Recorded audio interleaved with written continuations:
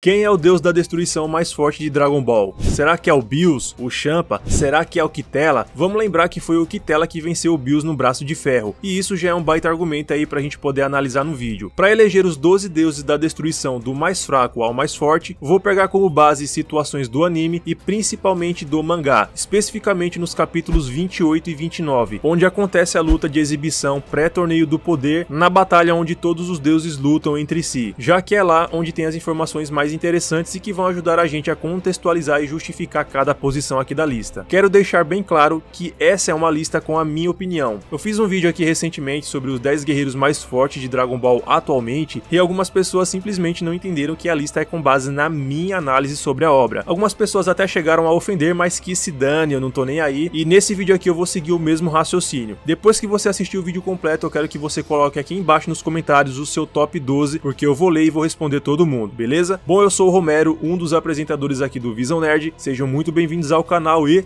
vamos pro vídeo. Número 12, Ivan, do Universo 1. Esse deus que parece uma bola de pelo é provavelmente o deus mais fraco de todos os universos, já que ele não demonstrou feitos relevantes na obra. No anime, ele enfrentou Araki e Liquir no torneio de exibição que terminou basicamente no empate, mas no mangá, na luta entre todos os Hakaishin, o Ivan não conseguiu fazer nada contra os outros deuses, além de apanhar e depois ser finalizado pelo Kitela. Ele não demonstrou nenhuma habilidade perigosa e também não tem uma defesa muito segura, fora que ele se impressiona fácil demais com as coisas. Por exemplo, quando Goku e o Toppo estavam lutando, ele chegou a mencionar que a luta já estava no nível de deuses da destruição. Por mais que Goku estivesse transformado num Super Saiyajin God e depois tivesse passado para um Blue e o Toppo fosse um candidato a deus da destruição do universo 11, ainda assim não era suficiente para bater de frente com um Hakai Shin, a menos que esse Hakai Shin não fosse lá tão forte. Então, na minha opinião, isso faz dele o deus mais fraco entre os 12.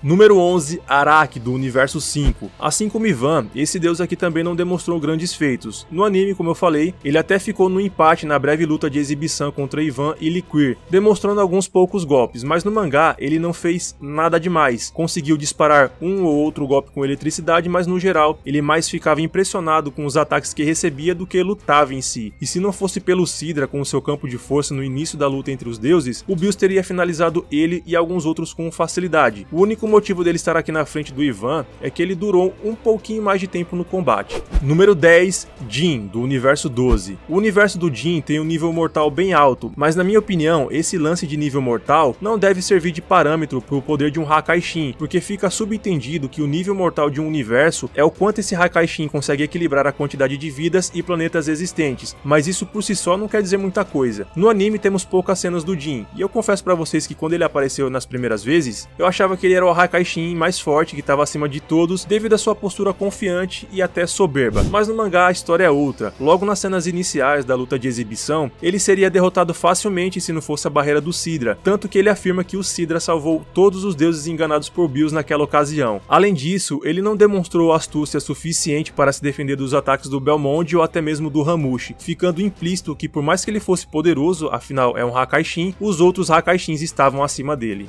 Número 9, Sidra do universo 9. No anime, o Sidra tem uma participação até interessante quando ele faz um complô com o Kitela antes do Torneio do Poder para enviar alguns capangas para o universo 7 a fim de atrapalhar os Guerreiros Z e fazer com que eles não participassem do torneio. Naquela ocasião, o Sidra emprestou o seu poder de Hakai para um capanga, Hakai esse que foi arremessado no Freeza, mas que ele resistiu mesmo tendo que suar um pouquinho. Foi uma cena bem foda, aliás. Mas o Sidra parece ser um deus confuso e incerto de suas decisões. No entanto, ele tem uma defesa muito forte, né, acima dos outros deuses, sendo capaz de parar golpes muito poderosos como o que o Bills disparou na luta. Se não fosse pelo Sidra com a sua barreira de energia, Jin, Araki, Belmont e até o Champa iam ser derrotados pelo Bills com facilidade. Porém, o Sidra não demonstrou outros grandes feitos e foi finalizado pelo Champa, por isso eu deixo ele em nono na lista.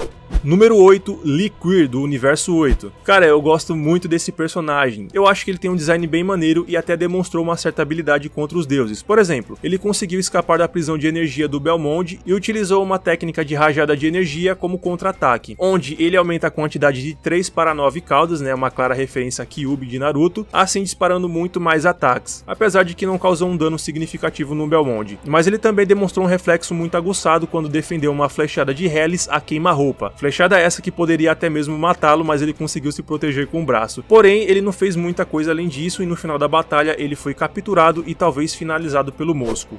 Número 7, Hellis, do Universo Universo 2. Ela é uma personagem bem bacana também, conseguiu rivalizar com o Liquir e até o surpreendendo. Os ataques de flecha que ela possui podem ser extremamente letais. O único grande feito de Hellis nessa luta foi atravessar o braço do Liquir com essa flechada. Fora isso, ela também não fez muitas outras coisas a ponto de superar os próximos da lista. Número 6, Mosco, do Universo 3. Esse deus robótico, que na verdade é controlado pelo verdadeiro Hakaishin dentro dele, demonstrou ser bem perigoso. Por exemplo, ele conseguiu ser rápido o suficiente para agarrar o Bills enquanto ele se movimentava com um instinto superior. Não só isso, ele também conseguiu segurar e finalizar o Liquid e acertar um golpe poderoso em Hellis ao mesmo tempo. E então isso só demonstra a incrível capacidade que ele tem, não só na questão da velocidade, mas também em força bruta. E eu considero esse grandes feitos do Mosco, por isso aqui é a sexta posição.